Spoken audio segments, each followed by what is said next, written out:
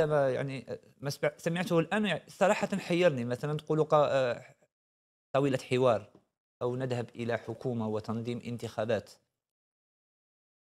شكون يدير السياسة هذه؟ مادام الآن نعيش فترة غياب رئيس غياب تام لم يخاطب شعبه لم يظهر. من الذي يقوم بهذه التغييرات؟ من الذي يقوم بهذه التغييرات؟ الرئيس حتى ولو كان هو من يتخذ هذه القرارات فإنه يتخذها بطريقة غير دستورية علاش؟ علاش؟